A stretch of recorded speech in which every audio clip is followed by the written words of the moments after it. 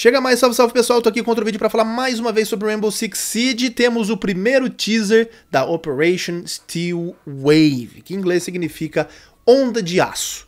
É tudo que a Ubisoft revelou até agora, mas é uma imagem oficial. A gente vê aqui um monte de aço retorcido, é como se tivesse, sei lá, uma bomba sido estourada, sei lá, passou um furacão, alguma coisa, e ao fundo a gente consegue ver dois operadores que é muito difícil identificar porque não tem detalhe nenhum, é só na verdade uma silhueta, mas a gente já vê que tem aí dois operadores que a gente não sabe exatamente como vão ser, né? Já tem alguns vazamentos, alguns indícios, nada confirmado até agora, então a gente está vendo o mapa do ano 5, a gente vai ter dois novos operadores, um da África do Sul e um norueguês.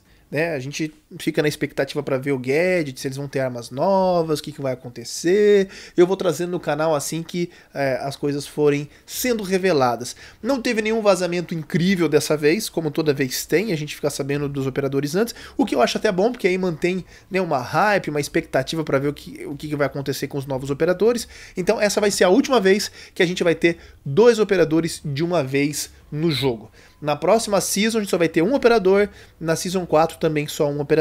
Na season 3 a gente não sabe nem de que país vai ser, e na temporada 4 vai ser um tailandês, né? Pelo menos é o que tá a bandeira ali. Bom, junto com os dois novos operadores da Operation Steel Wave, a gente vai ter o rework da casa. House vai passar por um rework que a gente viu durante um invitation, algumas imagens, e meu, parece que vai ficar bem bacana. Eu tô numa expectativa danada, lembrando que além disso a gente vai ter um novo evento né? A cada temporada a gente sempre vai ter um evento. A gente está tendo agora The Grand Larceny, que é com as 12, você pode quebrar o chão, etc.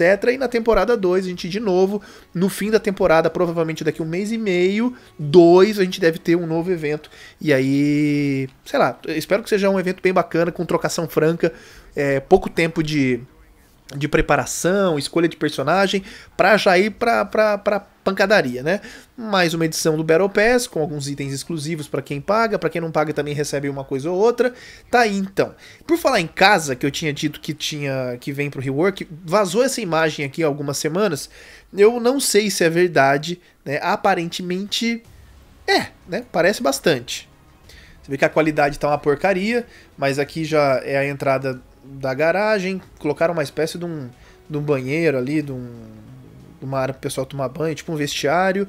É, academia tá igual, essa área eles não mudaram muito, é basicamente a mesma coisa. Você vê que deve ser um pré-alfa, né? de tão antigo que é, as paredes é, todas marcadas, não, não tá finalizado ainda. Aí tem uma sala um pouco maior, um cômodo novo de entrada, é, uma outra paradinha, escada que vai para andar superior. É, não mudou muita coisa que não, tá? É um rework que eu também não sei se é verdadeiro, se é só um vazamento falso, enfim, a gente fica na expectativa para ver. Oficialmente a gente deve saber em breve. Todas essas informações seriam reveladas de forma oficial durante as finais da Pro League aqui em São Paulo no mês de maio. Né? Elas seriam apresentadas em São Paulo, mas por conta da pandemia de coronavírus o campeonato foi cancelado.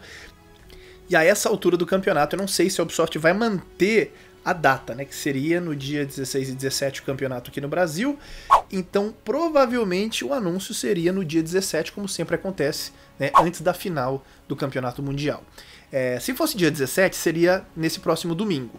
É, como saiu hoje o primeiro teaser, de repente até o fim de semana eles soltam outros teasers e aí no domingo eles revelam, imagino eu, numa live no canal oficial da Ubisoft, né, do jogo, do Rainbow Six.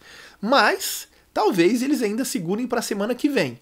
E aí, aos poucos, ao longo da semana, eles vão criando um hype.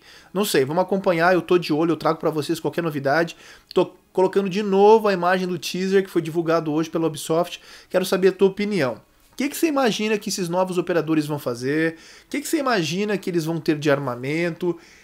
Você acha que esse vazamento da casa é real ou não? É fake? Tá feião pra caramba, não sei. Alguém pode ter pegado um Minecraft para fazer isso. Tão bizonho que tá. Não sei, rapaziada. Comente aqui. Não esquece de deixar o like, porque ajuda muito para eu continuar trazendo vídeo para vocês, firmeza? Então é isso. Um forte abraço e eu fui. Tchau.